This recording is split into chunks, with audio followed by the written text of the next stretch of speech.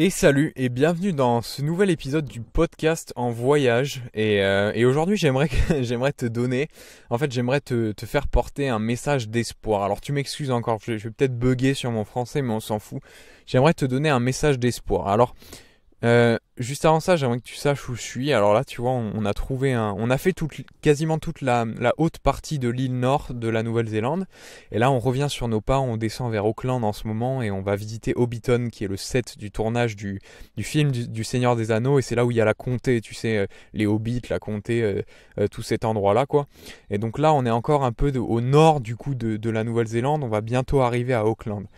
Et là, on s'est posé sur un on s'est posé à l'arrière d'un backpack, tu vois, enfin sur un parking du coup d'un, hôtel qui fait une espèce de deal parce que je t'explique pas trop tout en détail, mais si tu veux en Nouvelle-Zélande il y a une, législation assez assez stricte, beaucoup beaucoup plus stricte qu'en Australie pour ce qui est du camping et tout. Si tu veux, t'as as une norme qui est la norme self-contained en fait. Alors quand t'as un van qui est self-contained, ça veut dire que dedans t'as un évier et t'as as des chiottes tout simplement. Alors la plupart du temps, il suffit que ce soit une petite boîte, tu vois, dans laquelle tu fais tes tu fais tes trucs, tu vois, tu fais tes bails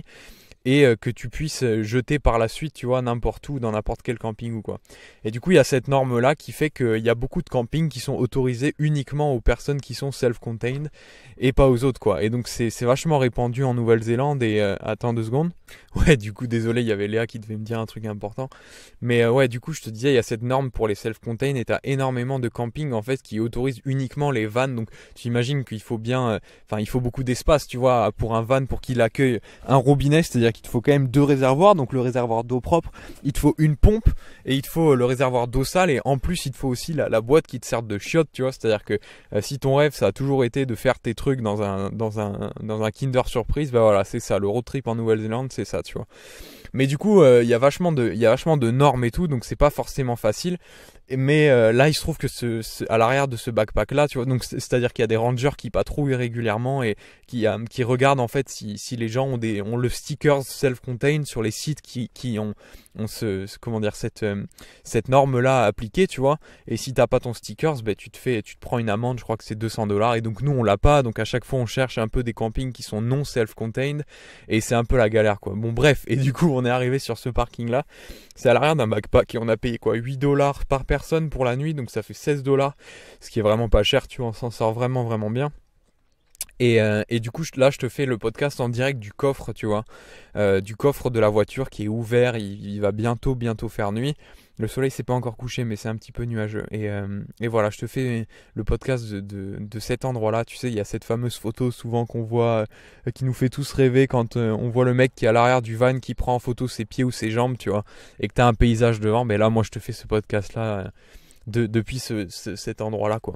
Et euh, du coup, moi, ce que je voulais faire là, c'est t'envoyer un petit message de, un petit message d'espoir pour te dire tout simplement que, tu sais, en fait. Euh, enfin, je sais pas, peut-être que tu rêves de partir à l'aventure, peut-être que ça fait trop longtemps que tu vois que tu tortures euh, l'idée, tu tortures l'esprit à vouloir partir, peut-être qu'il y a des trucs qui chez toi qui ne vont plus ou tout simplement que tu sens que tu as besoin de partir pour grandir, tu vois. C'est-à-dire qu'il y a, y, a y a, des moments comme ça dans la vie, tu sais, où on grandit à l'endroit qu'on est, tu vois. On a toujours, c'est comme un petit arbre, tu sais.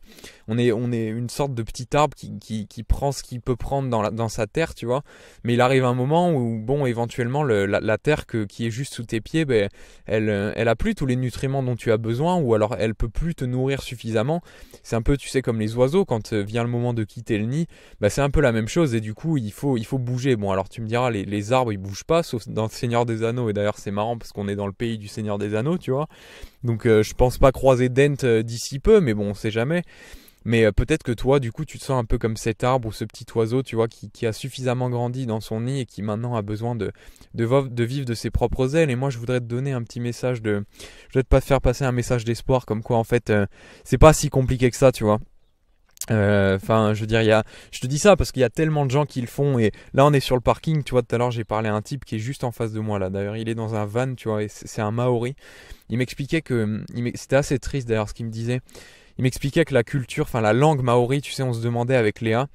Euh, si, enfin, comment ça se passait en fait ici Parce que tu sais, donc t'as as les Anglais, je sais pas qui a colonisé la, la Nouvelle-Zélande, enfin qui est arrivé exactement, c'est peut-être les Anglais, je pense mais qui sont arrivés. du coup, euh, il y avait ce peuple de Maoris qui, à l'origine, je crois, venait des îles, enfin, était une, comment dire, une sorte de, de, de, euh, un peu dérivé des îles hawaïennes, tu sais. Donc c'est pour ça qu'ils ont vraiment ces traits très typés, ces traits de visage typés hawaïens, un peu les Maoris, tu vois. Et ils ont leur propre culture. Et le problème, c'est que bon, ben tu sais, quand t'as deux langues qui coexistent, euh, et notamment que une des langues, c'est la langue un peu internationale, massive, genre euh, marteau de Thor, tu vois, qui est l'anglais et que t'en as une autre qui est une langue bon natale du pays, tu vois, mais que, qui commence un petit peu à, à être à être, enfin, à être de moins en moins parlé, bah t'en as forcément une qui disparaît un jour. Et là, c'est ce que le type me disait, c'est que le, le, maori, la langue en elle-même, tu vois, elle commence à disparaître. Et euh, bon, qu'il travaille bien sûr là-dessus, le gouvernement et tout, tu vois, aujourd'hui on l'apprend à l'école, mais il y a une époque c'était interdit, tu sais, le, à la fin des années 1800, début des années 1900, euh, par souci d'intégration et de volonté d'intégrer les peuples justement qui, qui pour cohabiter, tu vois, pour mieux cohabiter à l'époque où encore où, où, comment dire cette colonisation était très fraîche, bah, les gens interdisaient en fait aux, natifs de, de, parler leur langue natale qui était le, le maori pour justement leur apprendre plus l'anglais, tu vois, et ça c'est c'est ouais c'est bah, bah c'est l'histoire quoi tu vois et donc du coup on parlait de ça donc il y a ce type en face de moi là un, maori justement il a la quarantaine qui vit dans son van et qui tous les matins prend son prend son petit camion, il va bosser à l'autre bout de la colline.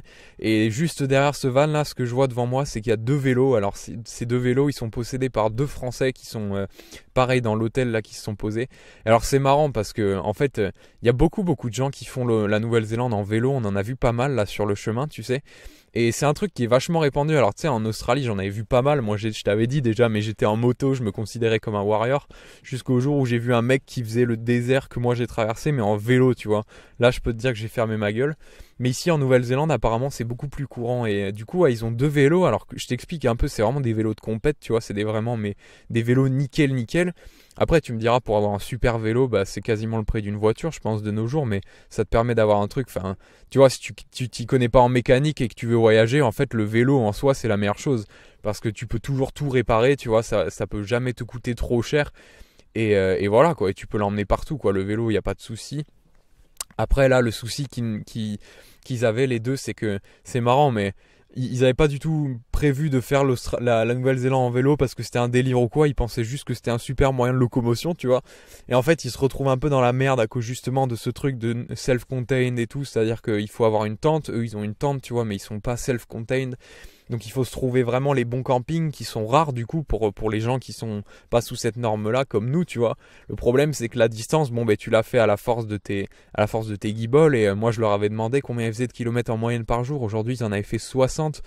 60 km c'est que dalle, enfin tu vois, donc la plupart du temps, euh, entre deux campings non self-contained, la distance elle est souvent de 200-300 km, donc euh, t'es un peu plus en mode aventurier j'imagine, en mode vagabondage, en mode euh, tu demandes à des habitants de dormir dans leur jardin ou quoi, donc je pense que c'est une bonne idée, tu vois, si, si t'as vraiment, si t'as vraiment choisi de faire le truc en vélo pour l'esprit de l'aventure, tu vois, après, enfin, eux, apparemment, ils étaient vraiment. En fait, ils étaient un peu là, tu vois.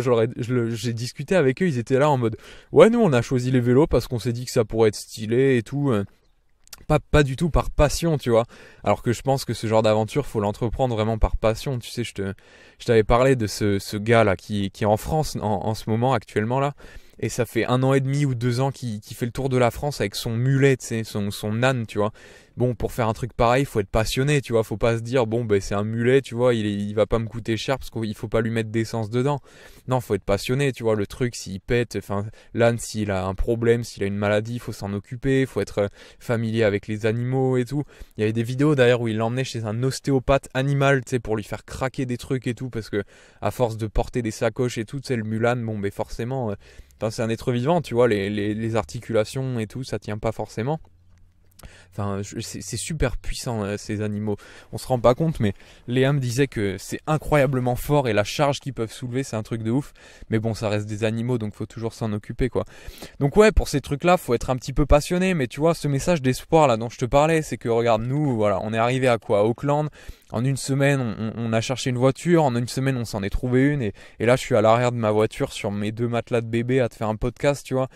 Je veux dire. Euh, Enfin, je sais pas comment t'expliquer. La vie est facile, tu vois. Et puis, ça te donne tellement de, ça te donne tellement de recul en fait de faire ça parce que, enfin, je te dis pas le recul que ça me fait prendre déjà vis-à-vis d'internet tout simplement parce que avec Léa, on s'est dit qu'on se couperait vraiment d'internet et que, bah, de toute façon, on n'a pas le choix parce que la Wi-Fi en Nouvelle-Zélande, c'est pas ça. Et euh, Bon bah il faut charger tu sais, les portables et tout, donc la plupart du temps nos, deux portables sont souvent à, sec. On utilise même la carte, tu vois, maintenant pour s'orienter. On en avait parlé un peu dans un podcast précédent, tu vois. Mais, euh, mais ouais, il faut. Enfin, je sais pas comment dire. La, la, la, connexion, le fait de se déconnecter, ça me fait un bien. Enfin, ça fait une, un truc de ouf, quoi. Je sais pas.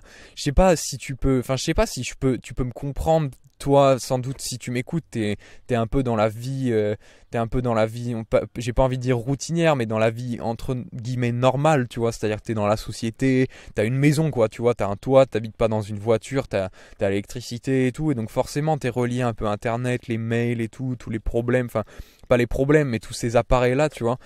Et le fait de s'en déconnecter, enfin moi là, ça fait trois jours, tu vois. Euh, je peux te dire que, enfin je sais pas pourquoi, mais si, je sais pourquoi d'ailleurs, mais en fait, maintenant, dès qu'il s'agit de prendre mon téléphone, je regarde l'heure ou je regarde les trucs que j'ai envie de regarder.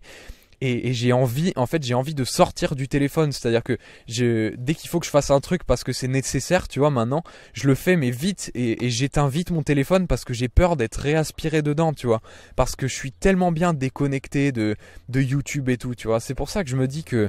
Enfin, tout ça, c'est une expérience, tu vois, ça peut pas durer indéfiniment. Enfin, moi personnellement, je pourrais pas vivre euh, toute ma vie dans un van. Je sais pas ce que toi t'en penses, tu vois, mais si, si, tu si t'as pas encore testé l'expérience, tu verras quand tu testeras. C'est, tu peux te créer un certain confort. D'ailleurs, nous, on a trouvé un certain confort.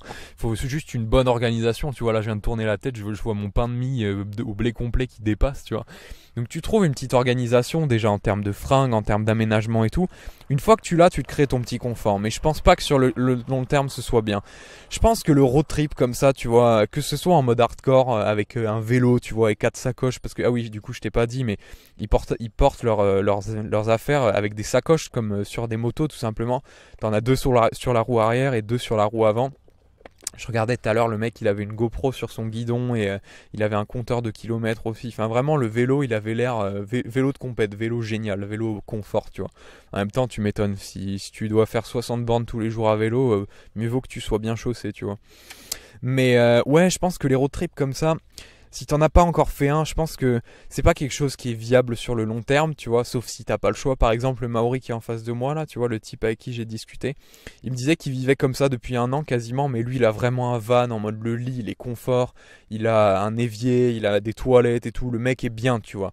Et, euh, il vit, euh, comment dire, il vit sur ce parking, il vit dans cette auberge, sur le parking de cette auberge c'est juste son van qui lui sort de lit quoi mais il a l'électricité il peut utiliser toutes les installations de l'auberge tu vois mais vivre une aventure comme ça, il faut vraiment que ça parte. Euh, il faut vraiment que ça parte d'un élan intérieur, tu vois, un besoin intérieur de, de, de comment dire, de, je sais pas, d'aventure, de révélation, de, de challenge, de, de défi vis-à-vis de soi-même. Il faut que ça parte d'un truc comme ça, tu vois. Mais à partir du moment où tu le prends, à partir du moment où tu as une bonne raison, tu sais, c'est un peu comme, je sais pas, moi, c'est un peu comme quand tu postules dans un job, ou tu sais, enfin, pour moi, je sais pas, moi, dans, dans ma vie, à chaque fois que j'ai fait un truc, je l'ai toujours fait parce qu'il y avait une raison, tu vois. J'arrive pas à faire un truc quand j'ai envie qu'à moitié, tu vois. C'est, je sais pas, c'est comme ça dans la vie. En tout cas, pour moi, c'est comme ça. Et, euh, et, et, ouais, quand t'as une bonne raison pour faire ton voyage ou ton road trip ou peu importe ce que c'est, tu vois, peu importe l'aventure que tu prévois de faire, ben c'est génial, quoi. Et, et, ça te donne, ça te donne du recul de ouf. Enfin, moi, j'ai jamais j'ai fait mon road trip en moto, tu sais, en Australie, mais c'était pas du tout les mêmes sensations. Tu m'excuses, j'ai des remontées là, je sais pas ce qui m'arrive, tu Mais c'était pas du tout les mêmes sensations que là, et c'était pas du tout le même recul, parce que je pense qu'en moto j'étais beaucoup plus à vif. En moto j'étais plus comme un animal, tu vois, c'est-à-dire que fallait que je survive, quoi, tu vois. Là on a quand même un petit confort, bon bah t'es dans ta voiture, euh, enfin on est bien, tu vois, on se douche quasiment tous les jours et tout. Mais, euh, mais ouais, ça te donne. Euh, enfin, faire un road trip comme ça, ça te donne, euh, ça te donne du recul de ouf, quoi. Et, et c'est pas si difficile, quoi. Je veux dire, c'est vraiment pas si difficile, tu vois. Genre, je sais pas comment t'expliquer, mais c'est pas difficile, tu vois, de partir en voyage. Je veux dire, il te suffit quoi? Il te suffit d'un billet, il te suffit d'un visa, quelques petites économies. Bon, ben, tu travailles un petit peu, tu vois, en France. Enfin, je veux dire, on, faut, on a tous un peu travaillé en France, tu vois. Tu te fais tes petites économies, tu pars tu t'achètes une voiture, tu vois, entre, tu prévois entre 2000 et 4000 dollars ou euros de, côté pour t'acheter une voiture, tu vois. Et tu vis au jour le jour, quoi. Et puis il n'y a rien de temps qui t'empêche de, de t'arrêter, de bosser sur le chemin. Tu vois, nous, on va sans doute faire ça. On va s'arrêter dans une ferme et travailler un peu quand il faudra un peu remplir les caisses. Et, et voilà, quoi. Tu te fais ta petite aventure, quoi. Donc, euh, ouais, la vie est belle. Et puis moi, je t'encourage à le faire. Vraiment, je t'encourage vraiment à le faire parce que Bon, je le vis, moi c'est peut-être un petit peu, c'est peut-être un petit peu la fin dans le sens où euh, mon, voyage euh, arrive bientôt à son terme, tu vois.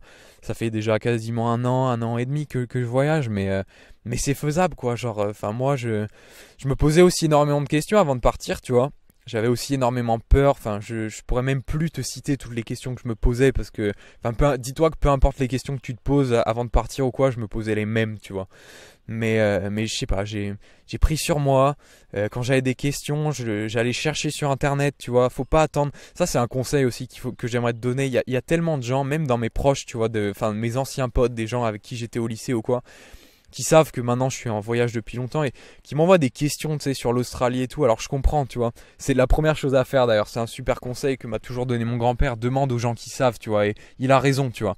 Mais il y a aussi un principe qu'il faut comprendre, je pense, c'est que moi je comprends enfin que j'ai compris un peu de la manière dure parce que moi aussi j'ai eu des questions sur des sujets tu qui m'intéressent et tout notamment les vidéos euh, quand je enfin au, moment où je voulais faire les formations enfin un peu tout tout, mon parcours. J'ai eu aussi des questions mais il y a un truc qu'il faut comprendre c'est que euh, les gens peuvent pas te répondre tout le temps tu vois et euh, à partir du moment où tu comprends que en fait personne te doit rien et que tu commences à vraiment te donner les moyens de trouver tout ce dont tu as besoin un peu tout seul, tu vois, un peu en mode autodidacte, un peu en mode tu apprends toi-même, un peu en mode tu réponds à tes questions de, de, de la façon la plus autonome possible. C'est-à-dire que les moindres questions que tu as sur les voyages, t'appeler sur Google, tu vois, il y a forcément des gens qu'on ait déjà parlé. Si tu pars avec cet état d'esprit-là, t'es bon quoi. T'es bon et euh, enfin moi en tout cas je suis parti avec cet état d'esprit-là, je suis vivant, tu vois. Euh, et, j'ai vécu, j'ai vécu des belles choses, tu vois, j'ai vu des belles choses et tout, il y en a plein qui vont arriver. Mais je pense que c'est le meilleur mindset pour partir en voyage, tu vois. Euh, N'attendre rien de personne et toujours te démerder par toi-même. Et quant à ça, t'es bon, quoi. Quant à ça, t'es prêt à, vivre la plus grande aventure de ta vie. Et euh, t'es prêt à revenir euh, quelqu'un d'autre, tout simplement, quoi, en tant que quelqu'un d'autre. Donc voilà, moi je vais te laisser là, je vais sortir de mon coffre un petit peu, je vais monter tout ça et je vais le publier. Ce sera sans doute un des rares podcasts sur la route, tu vois. Et ça fait longtemps, je suis peut-être un peu rouillé, peut-être que mes expressions et tout sont pas. Enfin, je, dois sans doute pas parler comme avant, tu vois, mais euh, parce qu'on pratique tellement peu en fait. On, on parle pas beaucoup français, mais on parle pas beaucoup anglais non plus. Du coup, je t'ai dit, on est, on est un peu sans langue là, tu vois. On bug. Moi, je bug quand il faut parler français, mais j'ai un peu perdu mon niveau d'anglais aussi, tu vois. Donc c'est marrant quoi. Bref, allez, moi je vais te laisser là, je vais aller charger tous mes appareils. Je te dis à la prochaine, ça m'a fait plaisir de te parler aujourd'hui. N'hésite euh, pas à t'abonner à la chaîne si, tu viens juste de me découvrir. Normalement, d'habitude, je publie des vidéos beaucoup plus régulièrement. Mais là, le fait d'être en road trip et tout, je t'ai dit, je suis en mode déconnexion, je suis un peu en mode arbre là, tu vois arbre, nature et tout. D'ailleurs, ouais, aujourd'hui, on a vu un arbre, euh, un des, plus, un des plus vieux arbres du monde. Il avait 2000 ans un tronc mais énorme. Je vais te mettre une photo là. Le, mieux c'est que je te mette une photo plutôt que je, que je te décrive parce que faut, juste le voir pour le croire, tu vois. De toute façon, dans les vidéos, dans les vidéos que je ferai sur la Nouvelle-Zélande, je te le mettrai à un moment. Donc si tu le vois pas là, tu le verras à ce moment-là, quoi. Bref, moi je te laisse. Je te dis à la prochaine. Ciao mon ami.